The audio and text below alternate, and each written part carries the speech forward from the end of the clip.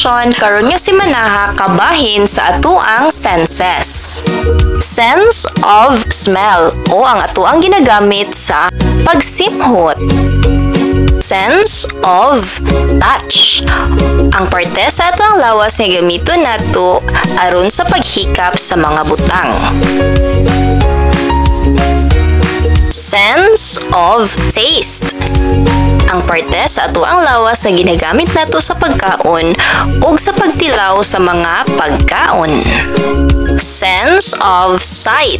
Ang parte sa atong lawas na ginagamit nato aron kita makakita sa ato ang palibot.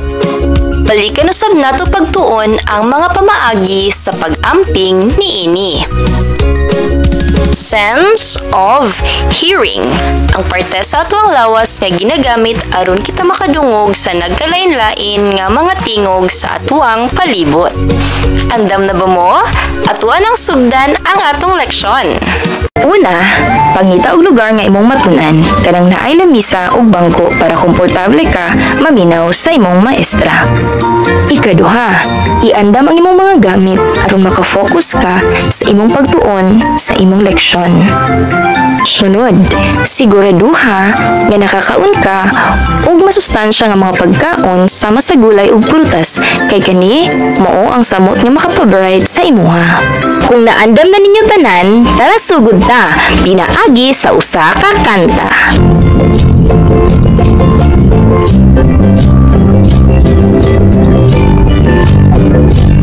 Maayong pag-abot sa atong klase mga tata Maayong pag-abot mga bata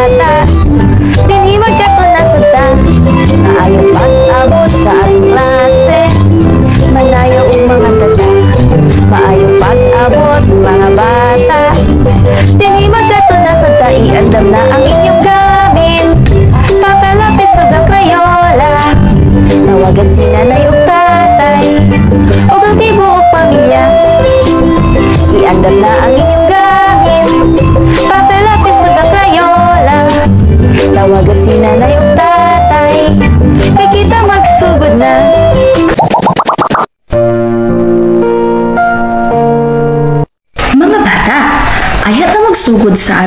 leksyon karong buntaga, magampo usab ta. Suon mo kay Teacher NN. Akong uloy duko, akong mata ipiyong, ug ako magampo.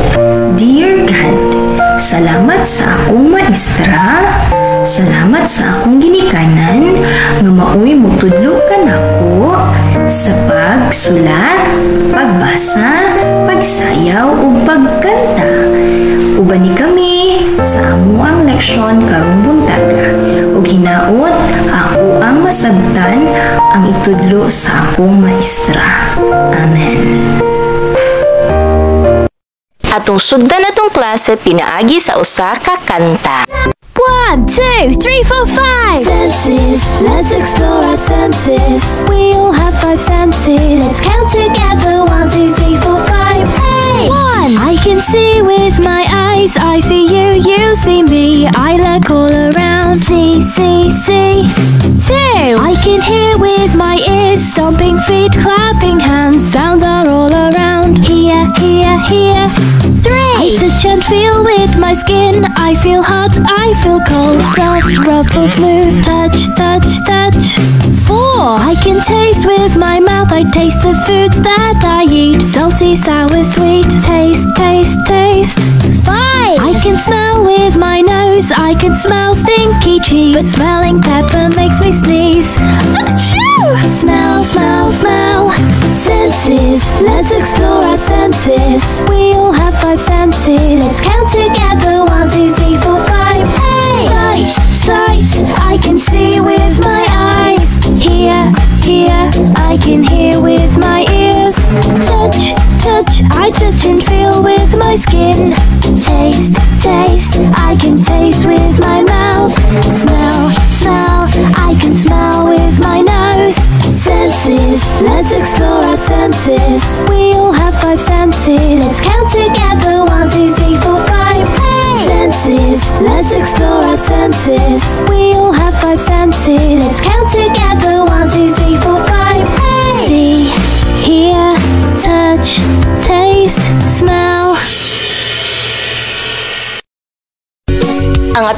Lawas adunay mga nagkalain-lain nga parte nga ginatawag og sense organs. Kani mo'y motabang kanato nga makakita, makadungog, makatilaw, kasimhot, ug makahikap.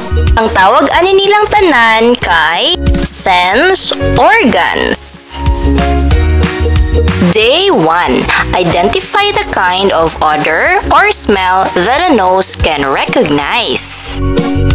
Ang atong sense of smell naa sa atuang ilong. Kani magtabang ka nato nga masimhutan ang nagkalain-lain nga mga baho sa atuang palibot. Naay humot, naapoy mga bad odors. Sa akong gikaingon, ang mga lagkalain-lain nga odor musulod sa atuang ilong. Sama ni aning babayi nga nagsimhot sa bulak. Unsa ka ang smell sa bulak? Adunay duha ka klase-klase nga baho nga atuang masimhutan. Sama ni ana nga sa basurahan, bad smell. Ug sama ni ana ang bulak, good smell. Ang atong ilong dili nato pwede kulitugon sama ni ana kay pwede na siya masamad sa sulod. Ang correct kay kani. Trapuhan nato og towel. Karon, it's activity time. Mga galamiton.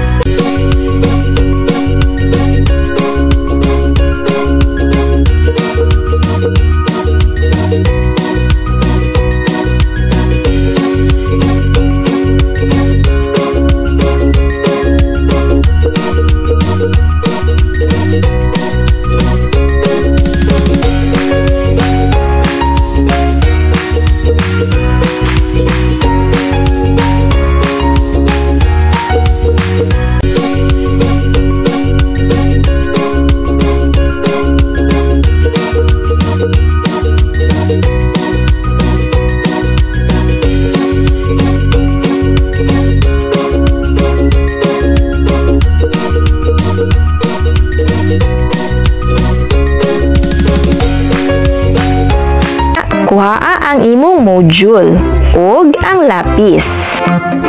Kuhata ang guided practice. Talamdan. Butangi og check ang mga humot nga butang og ekes ang dili maayong baho nga butang.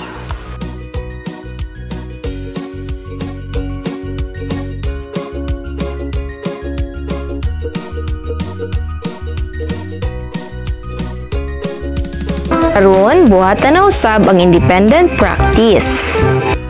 Talamdan, subaya ang putol-putol nga linya gamit ang lapis aron maporma ang mga pulo nga ilong. Sunod na usab ang evaluation. Talamdan, magpilit og hulagway sa mga butang o mga gamit nga naay baho ug imong masimhutan. Isulot kini sa mga kahon.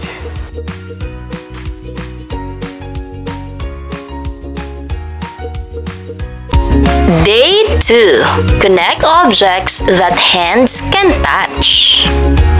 I use my hands to touch. I can touch hard and soft objects. I can also touch cold and hot objects. Smooth and rough. Kinahanglan ako ang limpyuhan akong kamot pinaagi sa paghugas ni ini. Dili ko magdula og kalayo. Kung musakay ko og sakyanan, dili na ko ipagawas ang ako ang kamot. Sense of touch. Sama kaniya nga nagunit og snow. Kung gamiton ang kamot sa paggunit og snow, mabati nato nga kana ang gigunitan bugnaw.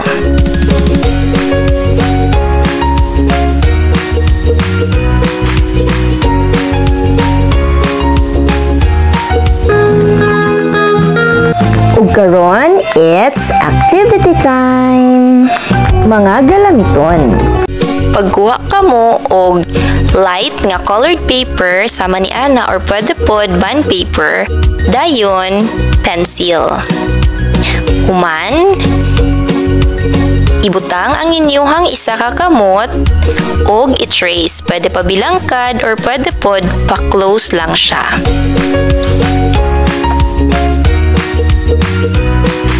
I-trace na dayon ninyo ang inyong kamot.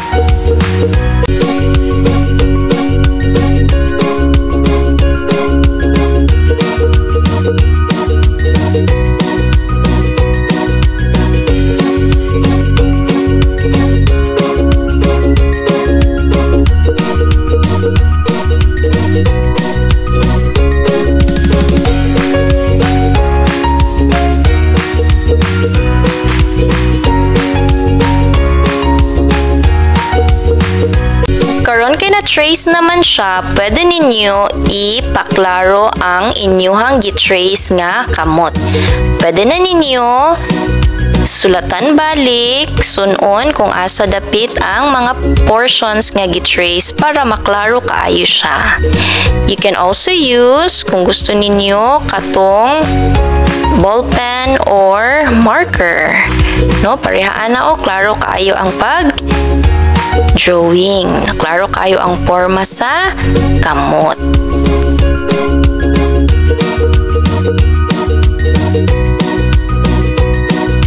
Ug mahuman na, get scissors, guntinga siya, kanang parts nga naay gitrace nimo ang imuhang kamot. Be careful in using the scissors. Again, kanang dili hait. And then hinay-hinay og gunting para dili ma sayop. Basin maputol ang isa ka tudlo, dili pwede.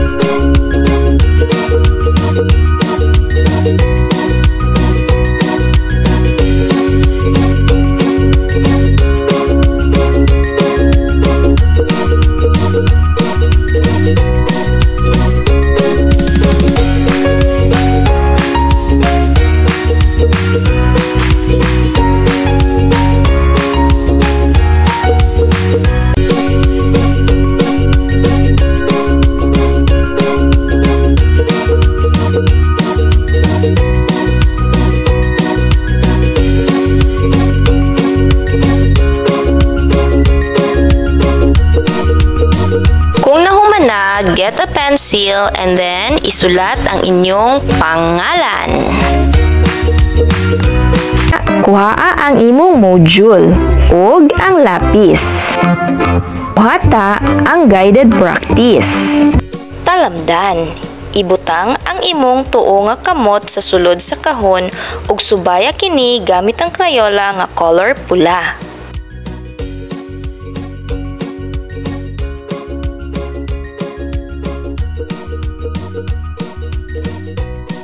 Karon buhatan na usab ang independent practice. Talamdan. I-check ang kahon sa ubos sa mga hulagway nga nagpakita og paghikap.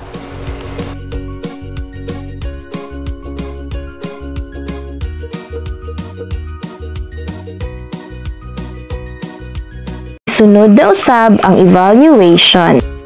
Talamdan. Kolore ang mga hulagway nga hamis ug ikahon ang mga hulagway nga sapnot.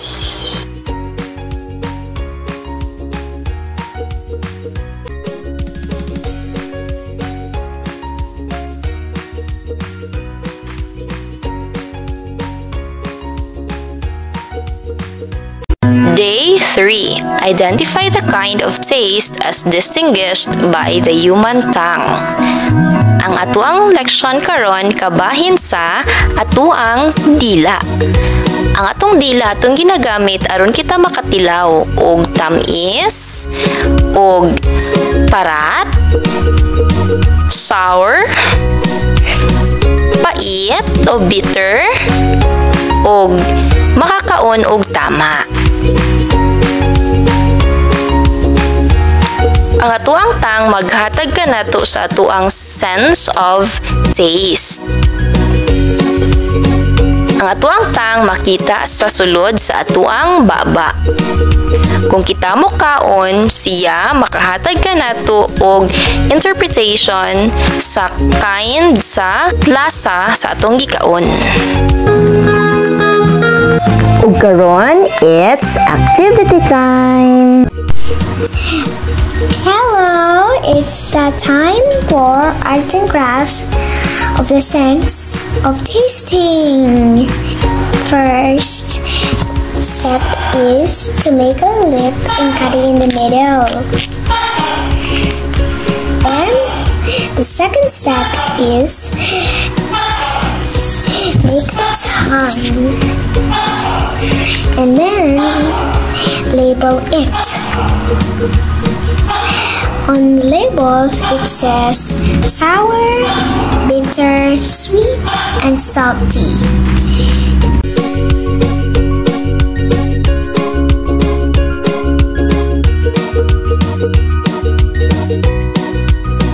Then, after that, identify the pictures and paste it on the tongue picture.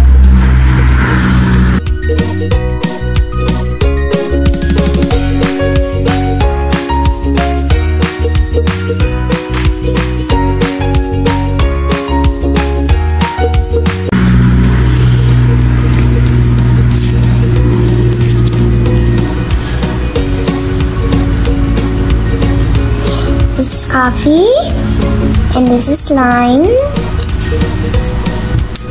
This is french fries, and this is cake.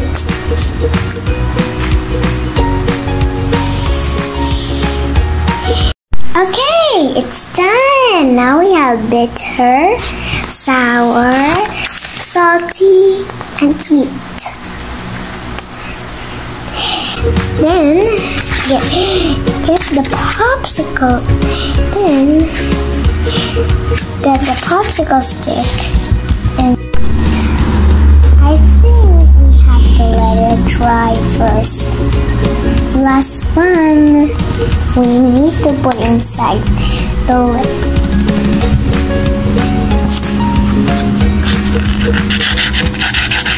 Oh, so cute! Right, yeah? See? Up and down. Up and down. So nice.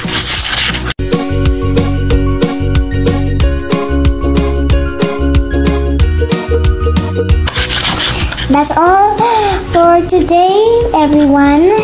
Thank you for watching. Have fun. Bye-bye. Kuhaa ang imong module ug ang lapis. Buhata ang guided practice. Talamdan, isumpay padulong sa dila, pinaagi sa linya ang mga hulagway nga matilawan ni ini.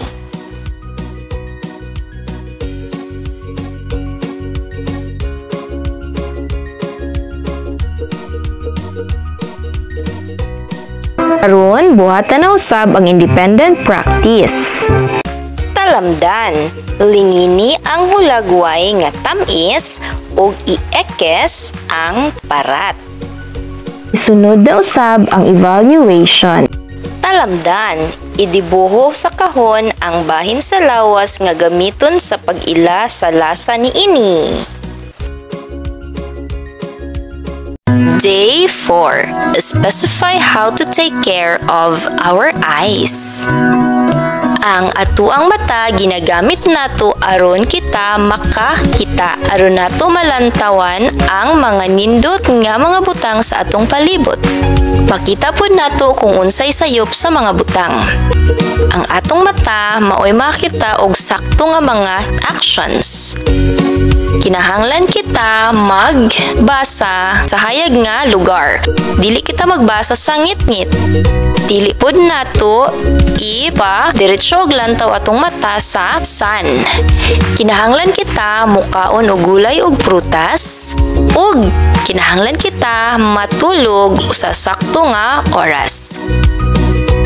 Kuhaa ang imong module ug ang lapis. Buhata ang guided practice. Talamdan, kulori ang nagpakita sa maayong pag-atiman sa mata.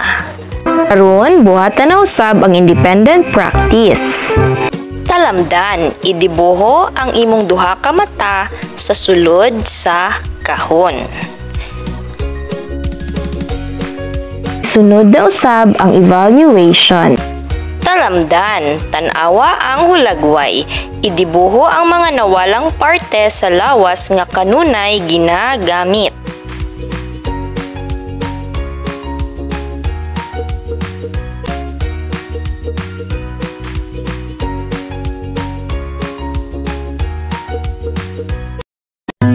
Day 5. Point out different sounds human ears can hear.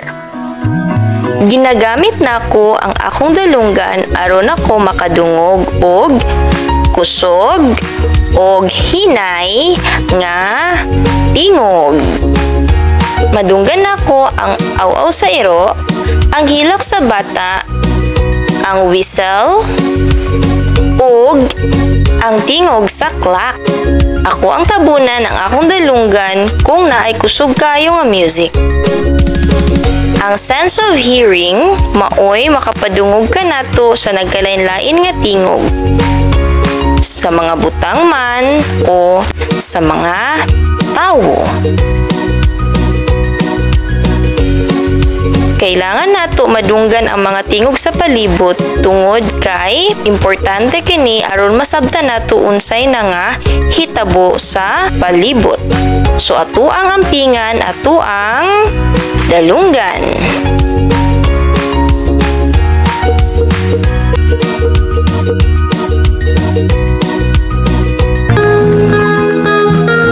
Ug karon, it's activity time.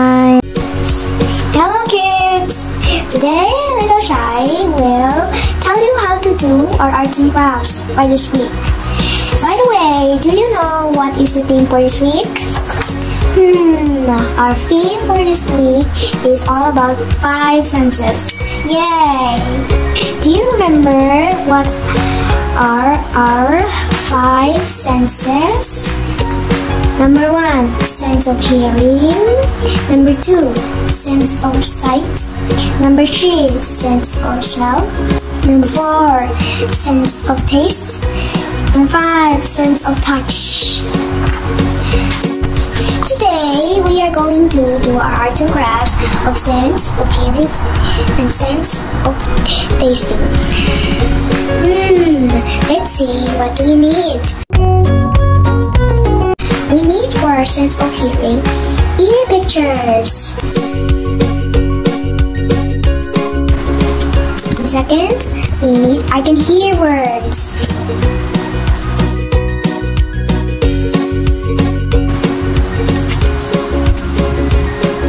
And long paper for headbands.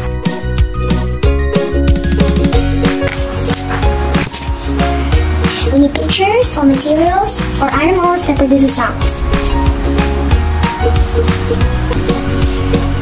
And glue and scissors.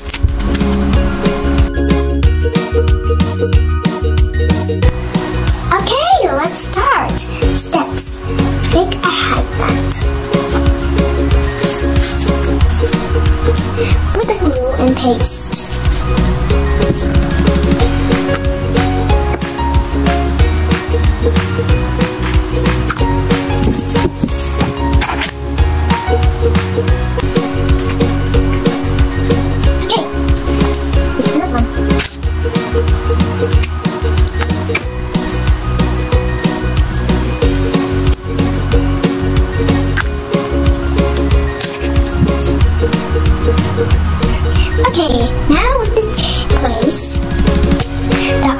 keyword.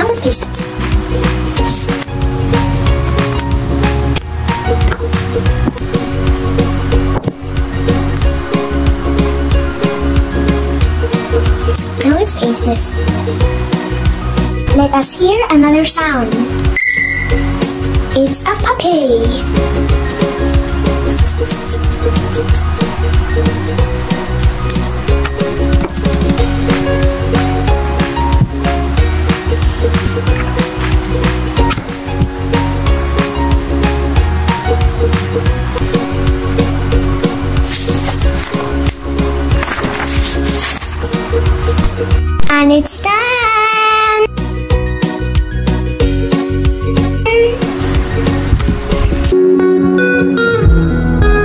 Kuhaa ang imong module ug ang lapis. Buhata ang guided practice. Talamdan, paminawa. I-check ang husto nga tingog sa hayop nga naa sa kahon.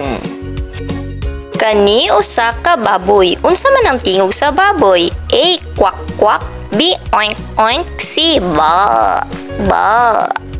Kani usa ka manok. Unsa ang tingog sa manok? A. Kwak kwak. B. Oink oink. C. Krr. Krr. Ang ikatulo, iring. Unsa man ang tingog sa iring? A. Oink oink. B. Shh.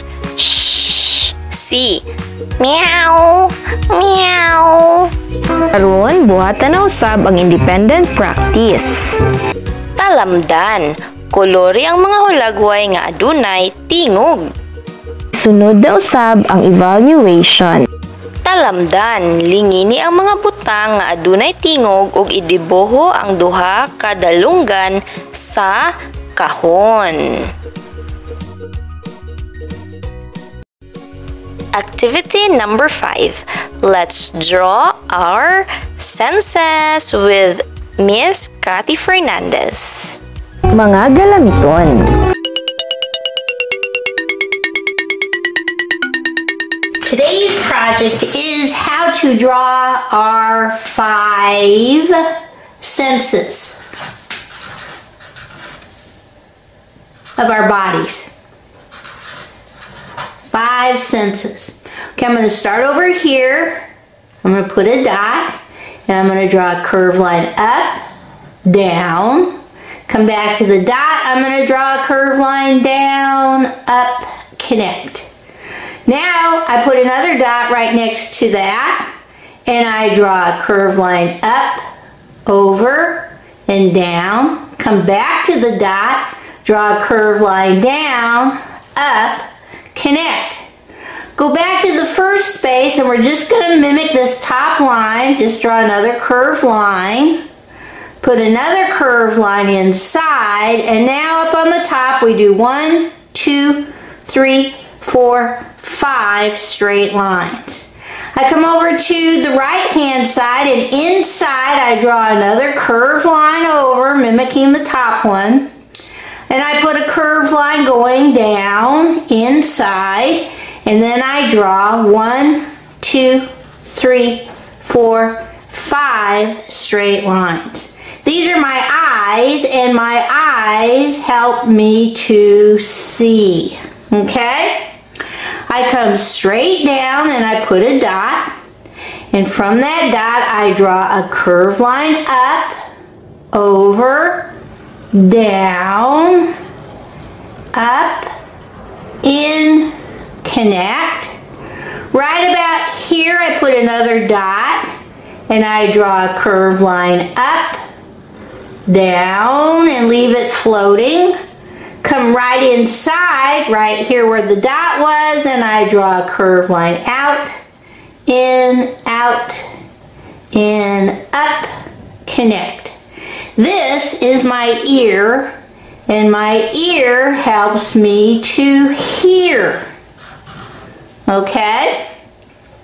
Come over here on the left hand side, put a dot, and I'm going to draw a curve line 1, curve line 2, curve line 3, curve line 4, curve line 5, curve line down, little curve line, up, connect. This is my hand and it helps me to touch and feel things. Okay? Now I come straight down and I draw a little curve line. Come back to where I started, curve line down, up, connect. Right at the top, I put another little curve line down. Now I draw, put a dot over here on the left, and I'm going to draw a curve line up, in, out. Come back to the first dot, draw a curve line down, jump over, curve line up, connect. Come back to this first part, draw a little curve line down and a little curve line up. Come back to the first dot, draw a big curve line up and over. This is my tongue, this is my mouth, and this helps me taste things. Okay? Now I come all the way over here on the left and I'm going to draw a straight diagonal down, curve line over, curve line up, and leave it floating. This is my nose and I use it to smell. Now, if I put all of these things together, I get this little guy over here. So I put a dot and I put a curve line all the way around and connect. Come down to the bottom, put a straight line on the left, straight line on the right, little curve line, connect. Draw a straight line out, and now we're going to go one, two, three, four, five curve lines connect. Come on the left hand side, draw a curve line out, curve line in on the right hand side, little straight lines all the way across. Come inside, put one dot, two dots, little curve line, straight, I mean, uh, curve line over, up, little curve line, little straight line inside. Okay, let's see how we're going to color this in. Okay, to color this in, I made this a pink person, but first I'm going to do these green eyeballs. So I come up here and I color these in green. You can do yours any color you want. I use green because I wanted to pop a color. Then I come up and I do pink, and that is for my eyelid. And again, I chose pink because I wanted to pop a color. You can choose any color you want. I come down and this is my ear and I colored it pink. Okay? So this is your ear or my ear and I colored it pink. Then I get to my hand for touch and feel and I colored it brown. And I don't know why I did, but I did. I probably should have continued using pink, but I didn't. I colored it brown, so I'm going to stick with that. I think I might have done brown so you would know it was different, that it did something different other than just be who it, what it was. Then I come down to taste. This is my mouth. And I gave myself pink lips, top and bottom, because I wanted to do my tongue red. Sometimes I do things for a reason, sometimes I don't, but this time I did. And then I colored these little tiny sections on the right and on the left black so it looks like my mouth is open. And I'm sticking out my tongue. Then I came over and I did my nose pink. Okay? Just a little bit of pink. Now I come to my kid. The first thing I did was I drew a little bit of green on his eyeballs. And that is only because I want to remember that when you see, you use your eyes. That's what these are. Then, because he's got ears that are pink, and his nose is pink, I did his face pink. And I did his neck pink, which is down here, but I did his tongue red.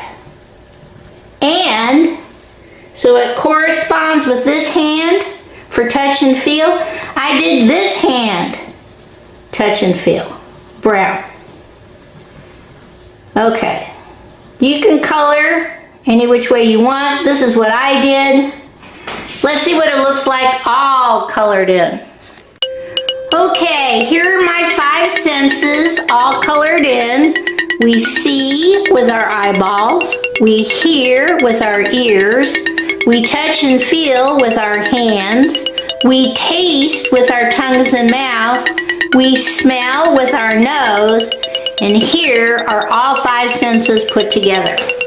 Okay, bye-bye.